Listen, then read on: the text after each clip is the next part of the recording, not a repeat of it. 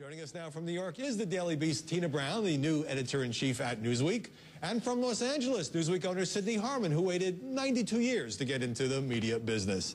Tina Brown, I'll start with you. Newsweek, I think it's fair to say, is a somewhat damaged brand. It lost $40 million last year, and most of its big-name writers have left. How are you going to revive it? Well, I regard Newsweek as a fantastic, legendary brand. And I have this tremendous weakness for fantastic, legendary brands, as you know, with, you know, Vanity Fair and The New Yorker. And the DNA of that magazine of Newsweek is, is really a, a great, great one. And I'm very excited about it because I think that with the uh, adrenaline and news metabolism of the Daily Beast joining forces with Newsweek's terrific, deep culture of, of news and, and quality, it's a great combination, and the two things are going to animate each other. Now, most magazines, uh, we, as we know, are edited by men. Are you going to try, uh, when you take over, to lure more female readers to Newsweek?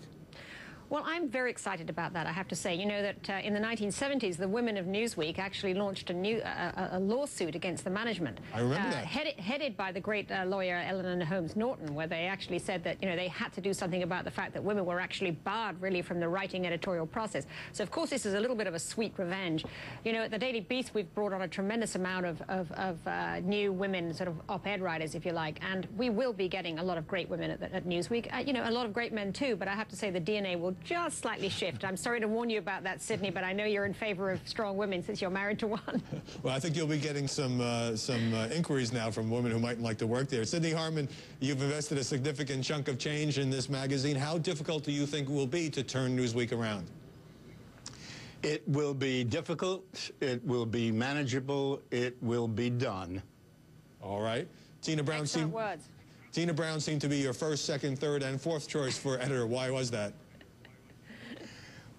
I need hardly tell you, Howard, since you work for her, this is an indomitable force. This is the unique talent in journalism.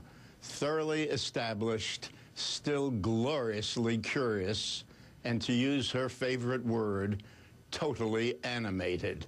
That's an irresistible combination.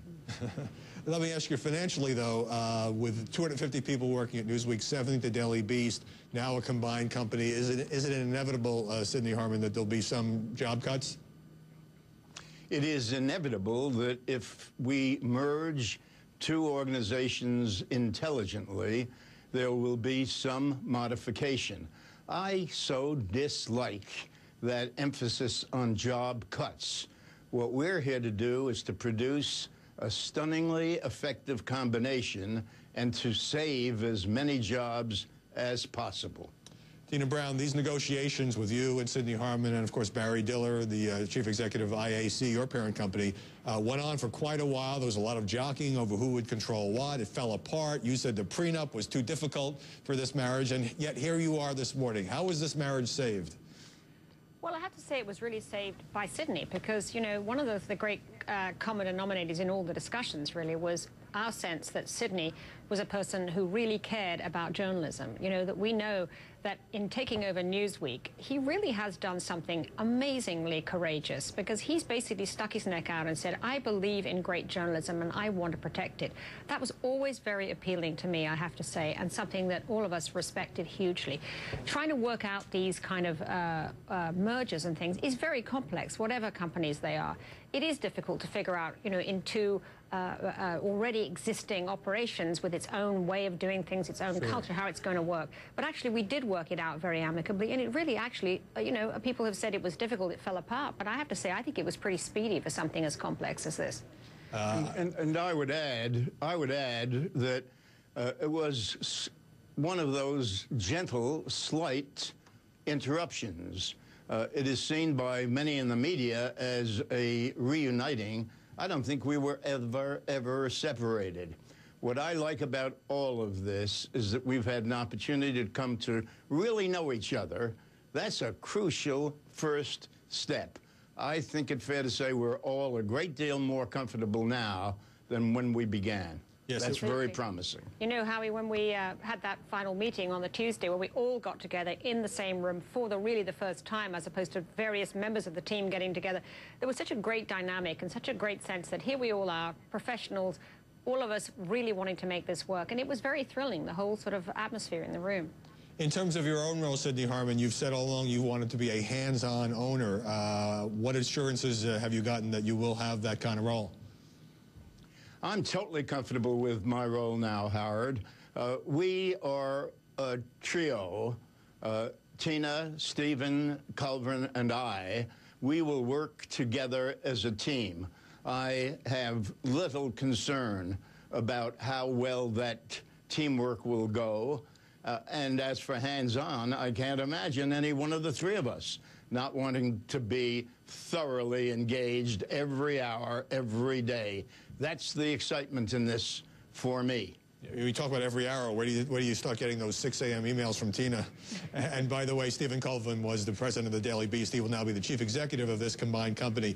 Uh, Tina, as we mentioned earlier, you were uh, editor of Vanity Fair, which is a monthly. You were the editor of The New Yorker, which is a weekly. But the industry, the magazine industry, was healthier then.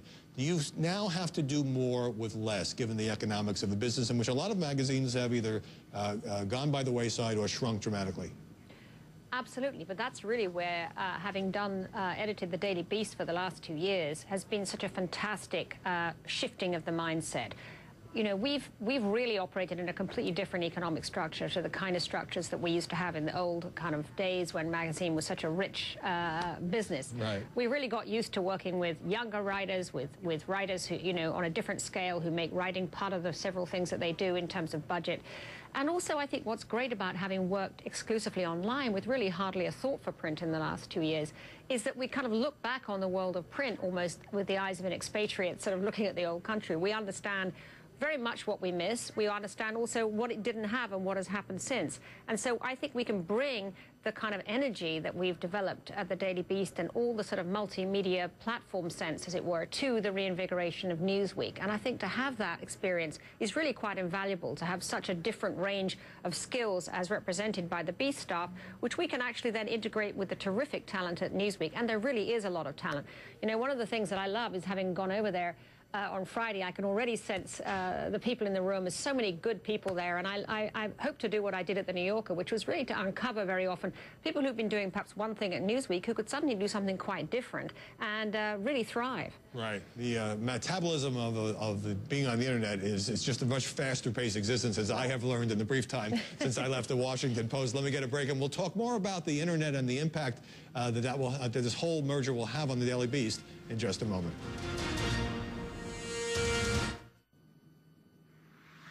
We're back talking about the merger of Newsweek and the Daily Beast. And Tina Brown is somebody who has now worked for the Beast for all of one month.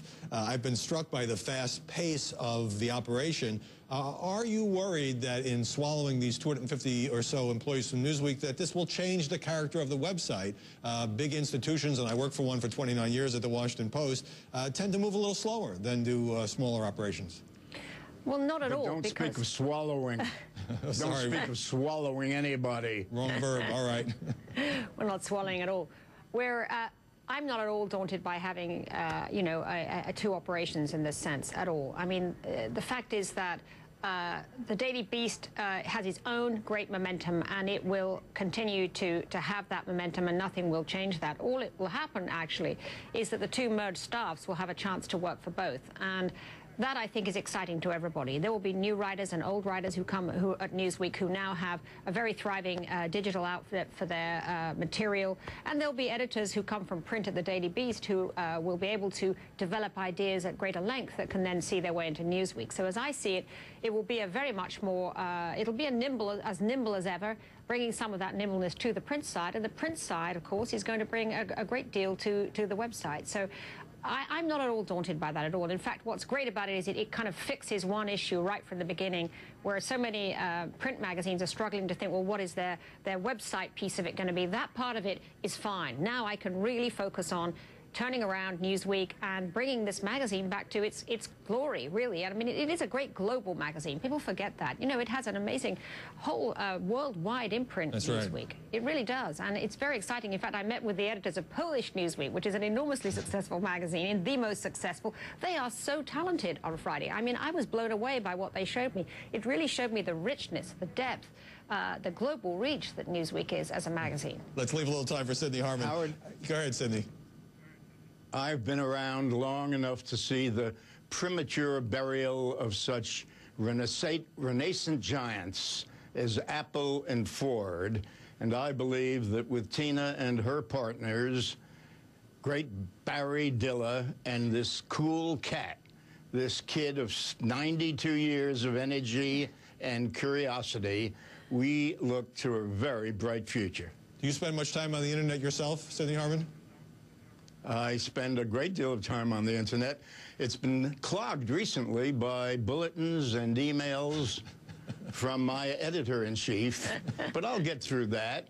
After all, I think of Newsweek as a national institution. I think of myself as a national treasure. I ought to be able to manage some internet activity. All right. Well, you've got a modest partner there, Tina Brown. We've got to. I have uh, to say, keeping up with Sidney is going to be my issue. This guy is a dynamo, I tell you. All right. Well, it's an interesting courtship to follow. Uh, everyone is going to, including me, is going to want to see how the marriage works out. Tina Brown, Sidney Harman, thanks very much for joining us.